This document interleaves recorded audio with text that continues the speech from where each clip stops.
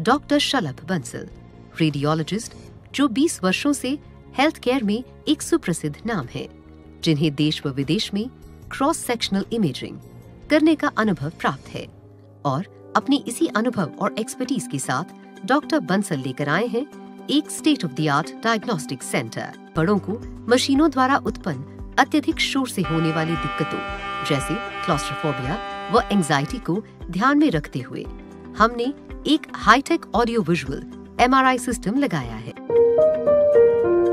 Tesla imaging and diagnostic centre Meerut के Zakir colony में आज राजनेताओं का दिन भर जमावड़ा रहा।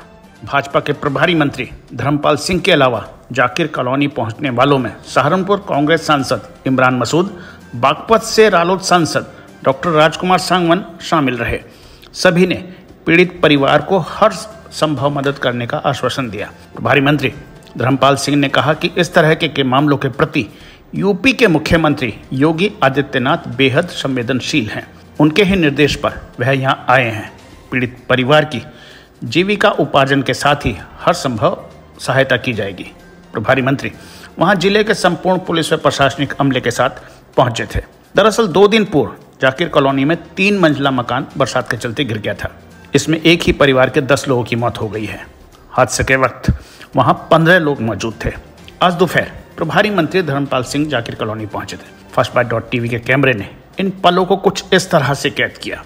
देखिए।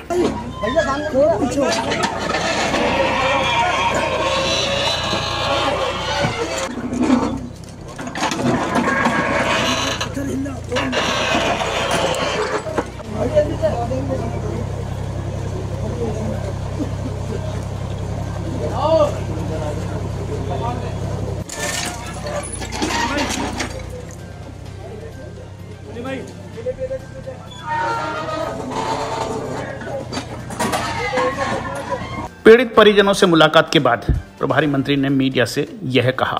पीड़ित परिवारों से आप मिले क्या पूरी डिमांडिंग की रही है? क्या बातचीत हुई है? क्या आपने घोषणा करी?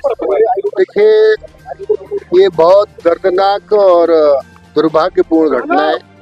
लोग सो सो रहे थे उन्हें पता ही नहीं कैसी दैवी आपदा आ जाएगी। इसका जान की कोई कीमत नहीं होती। योगी सरकार माननीय मुख्यमंत्री योगी आदित्यनाथ जी बहुत संवेदनशील है ऐसी घटनाओं को।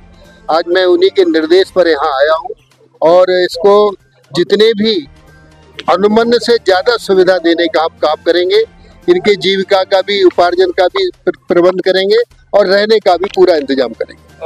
इनकी डेयरी भी यहाँ पे चल रही थी काफ़ी पैसे रोज़गार कहीं ना कहीं क्या है इसको लेकर क्या मदद हो जाएगी इस रोज़गार के लिए हमने आपको पहले ही बताया आजीविका का पूरा प्रबंध करेंगे। इससे पूर्व कांग्रेस के सहारनपुर के सांसद इमरान मसूद तमाम कांग्रेसियों के साथ वहाँ पहुँचे थे देखिए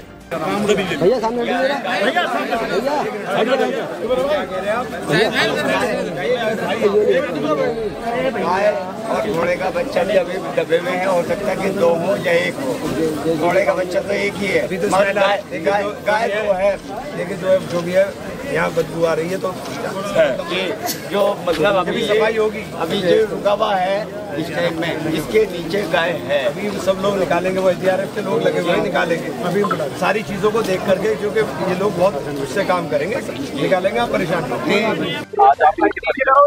क्या कहना चाह रहे हैं आप? देखिए बहुत दुखद हादसा है और पूरा का पूरा परिवार तबाह हो गया। उनकी भैंसें भी चली गई। घर पे ऐसा भी नहीं बचा के कहीं एक ऐसा हो कि आप अपना सर भी छुपा लें बहुत गरीब परिवार है, सब कुछ तबाह हो गया। तो अभी आज हम आए और मैं बात करूँगा अधिकारियों से भी कि इनको कम से कम इतना इनकी मदद हो कि इनका आशियाना बन जाए। सारी भैंसें मर गई।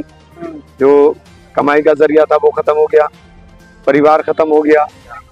और ये लोग जो बचे हैं, वो इतने दर्द में हैं, जो हॉस्पिटल में उनकी भी स्थिति बहुत अच्छी नहीं है। तो हमारा तो यही है कि हम जितनी मदद हो सके इनकी मदद करें।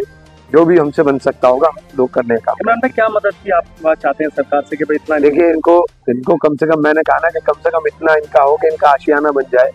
इनको रोज़गार का कोई साधन हो उपलब्ध हो जाए। इनका जो भैंसे मर गई है इनकी भैंसों का वो मिल जाए। इनको जो कारोबार है जो जिस तरह से एक एक झटके में इनका सब कुछ तबाह हो गया। तो वो चीज़ें तो वापस कोई नहीं दे सकता लेकिन इनके जख्मों पर इतना मरहम ज़रूर लगा सकते हैं सब लोग मिलकर कि इनके रोजी रोटी का और इनका आशियाने का इंतज़ाम। सरकार ने कर दी बहुत कम है बहुत कम देखिए बहुत कम है कितना मिलना चाहिए वो तो एक विषय अलग है लेकिन बहुत कम है। सरकार को भी सहानुभूति पूर्वक विचार करना चाहिए एक परिवार के दस लोगों का एकदम चले जाना एकदम इस तरीके से आपदा पड़ जाना तो आपदा का काम ही सरकार का है कि अगर कोई आपदा है तो उसमें जो हम सहायता कर सके ये काम ही तो सरकार का है। तो सरकार की तरफ़ से भी कुछ मदद हम जो कर सकते होंगे सब करेंगे। हम करेंगे जो कर सकते होंगे। हमने यही कहा। सांसद जी ये जानना चाहेंगे आज आए हैं परिवार क्या कहना है आपका? देखिए बड़ा हादसा दुखद हादसा है। और ये दर्दनाक हादसा जिस समय जो बारिश हुई थी पहाड़ी बारिश के कारण ये आपदा हुई है। ये जो घटना घटी है प्रा- प्राकृतिक आपदा है और काफ़ी लोग इसमें कई जाने चली गई हैं और पशुओं की हानि हुई है। तो आज हमने उस जगह को देखा भी है। सरकार प्राकृतिक आपदा के तहत इसमें कार्रवाई करेगी, काम भी करेगी। जो पीड़ित परिवार हैं, उनकी मदद कैसे हो इस बारे में विचार हो रहा है, प्रशासन भी विचार कर रहा है। अभी प्रभारी मंत्री जी पहुँचने वाले हैं। मुख्यमंत्री जी ने उनको भेजा है। घटनास्थल पर जाओ और पूरा जायजा लो उसका पता करो। तो उसके बाद उसके बाद पीड़ित परिवार है, हम तो आज पीड़ित परिवार से मिलेंगे जो क्योंकि बहुत कुछ खोया है परिवार ने चला गया है। तो भारी बरसात के कारण जो आपदा में ये घटना घटी। तो इसके लेकर हम प्रशासन के माध्यम से भी और आदरणीय जी मैं बात भी करेंगे अपने आज हमारे तमाम राज्य लोग रखे तमाम पदाधिकारी हमारे नेता जो सब लोग आए और पीड़ित परिवार के साथ हैं। मंत्री जी आ रहे हैं, उनसे बात करेंगे और आदरणीय मुख्यमंत्री से बात करेंगे। इस तरह का आपदा और जो भी किसी तरह की मदद हो सकता है, हर संभव इनके मदद का प्रयास करेगी, सरकार करेगी। इस अपडेट में फ़िलहाल इतना ही। आप देखते रहिए फ़र्स्ट बाइट डॉट टीवी नमस्कार।